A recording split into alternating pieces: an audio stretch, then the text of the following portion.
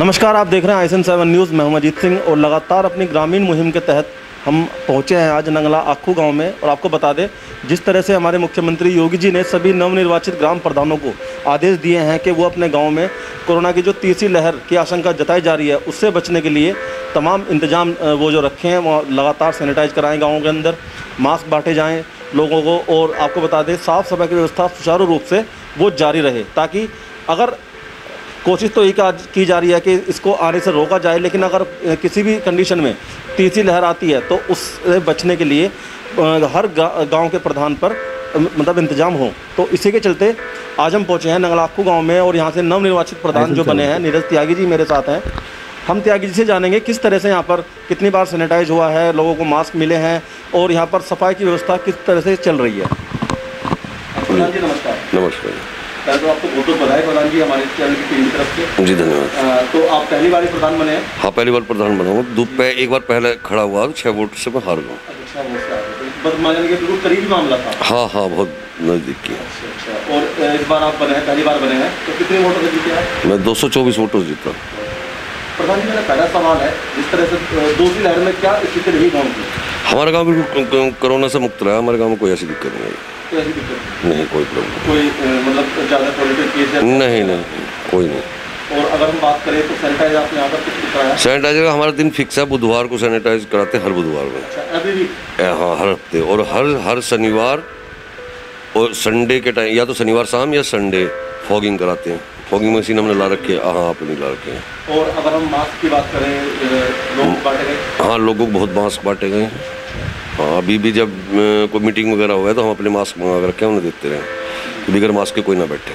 यानी कि और लोगों में कहीं ना कहीं जागरूकता भी फैल रही है। नहीं सही है। बिल्कुल ठीक है हमारे गाँव। लोग डर गए थे दूसरी नहीं देखो डर तो है कोरोना का लेकिन वैसा आदमी हमारे यहाँ बिल्कुल सही है। जागरूक। है। है हैं तो हाँ। पालन। बिल्कुल बिल्कुल।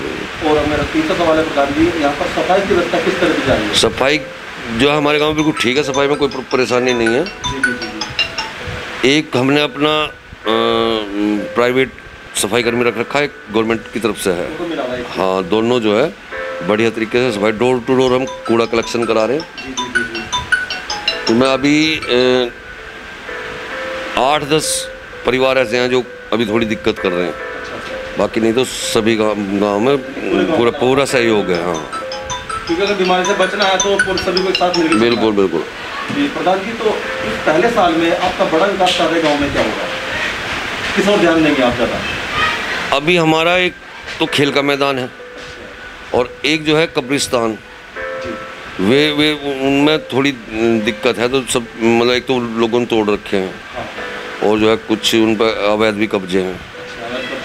हैं। तो उसमें जो है, अभी फ़िलहाल जो है, जो हमारी कार्य योजना प्रायोरिटी पे वे हमने रखे हैं। एक, जो हमारे गाँव का मेन रोड है, इस पर पौधारोपण और लाइटिंग की व्यवस्था, जिससे जो है, आधा किलोमीटर दूर हमारे गाँव का जो बस स्टॉप है तो वहाँ से जो रात को भी आदमी आवे तो आराम से अपने घर सुरक्षित पहुँच जावे। यानी प्रधान जी छः आठ महीने बाद आके देखे तो गाँव में बदलाव नज़र आएगा बिल्कुल बदलाव छः आठ नहीं महीना महीना बीस दिन में। तो यहाँ पर आपने देखा जो नीरज त्यागी जी हैं प्रधान जी का बयान आ चुका है। बड़ी अच्छी सोच है आपको बता दें और यहाँ पर अच्छा रहा कि यहाँ पर दूसरी लहर में कोई भी यहाँ पर किसी तरह से कोई ज़्यादा केसेस नहीं मिले बिल्कुल नॉर्मल रहा मामला।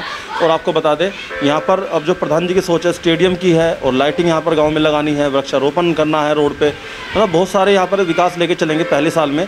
अब देखना होगा कि कितने छः महीनों बाद या एक साल बाद हम आगे देखें तो कितना यहाँ पर जो बदलाव नज़र आता है। मैं कैमरामैन संजय के साथ अजीत मैं नीरज त्यागी, ग्राम प्रधान नंगलाख को अपनी तरफ़ से सभी गाँव वालों को महाशिवरात्रि की हार्दिक शुभकामनाएँ देता हूँ। धन्यवाद।